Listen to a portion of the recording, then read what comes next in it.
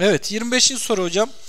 İkinci dereceden denklem sorusu. Ve şöyle soruya baktığım zaman kökleri bilinen denklemi kurma sorusu. Hani az önce taç diye bahsetmiştik Evet, bir önceki soruda. Toplam ve çarpımlardan Evet. yapalım hocam. Şöyle x kare eksi t çarpı x Artı artı ç. eşittir 0 diyelim.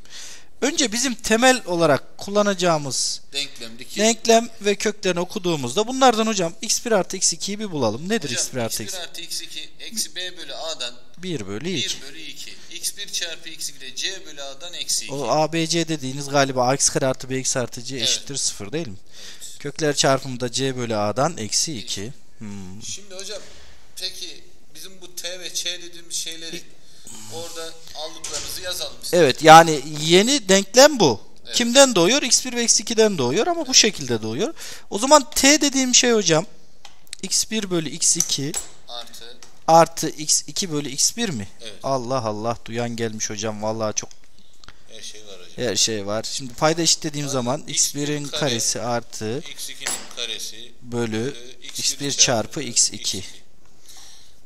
Hocam şimdi de şu var. Hocam burada özdeşlik kullanacağız galiba değil mi? E, x1 artı x2'nin parantez karesinden Evet. Tane kökler çarpımını Çıkardığımız zaman bu şey e, a kare artı b kare özdeşliği değil mi? Evet. Peki hocam neden a eksi b'nin karesi kullanmadık? Çünkü elimizde galiba toplam olduğu için değil mi? Evet, o zaman fark olmadığı yani için. Kullanmayalım şimdi. Onu, bir de onunla uğraşacağız çünkü. Evet.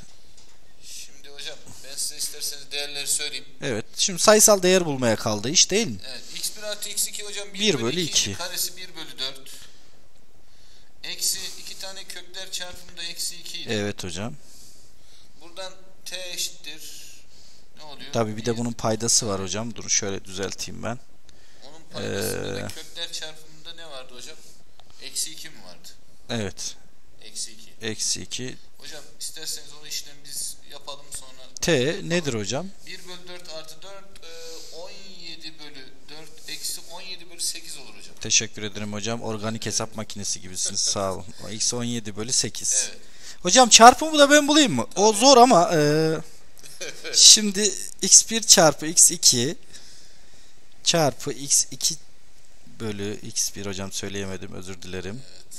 Şu x2 değil mi? Evet hocam. Evet çok zor hocam. Şöyle Bayağı çarptık götürdük. hocam. Evet. Çarpımı da birmiş değil mi? Tamam, hocam, O zaman şey- mavi renkli kalemle yazalım hocam. X kare eksi şuraya sığar, sığar herhalde hocam. Toplamı yazıyorum. artı mı olacak? Eksi evet. 17 bölü 8 x artı 1 eşittir 0 mı? Hocam yok denklem. Şimdi öğrenciler de aynı şekilde hocam buraya geliyorlar bu denklem yok diyorlar. Ne O zaman yapacağız? diğer soruya geçeceğiz. Evet. Diyorlar o zaman hata yaptık. Hadi Evet. başla. Ben şu paydadaki 8 var ya Sekizi 8'e götürmek çarpayım diyorum Evet. hocam. Ne diyorsunuz? Doğru, doğru. En güzeli, en güzeli. Çarptım 8 ile 8x kare artı 17x 17x artı 8 eşittir 0. Evet, yine Edirne'de hocam. Evet doğru cevap Edirne'nin E'si ama sondaki E'si değil mi hocam?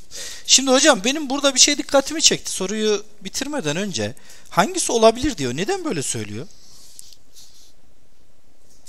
Hangisi olabilir hocam?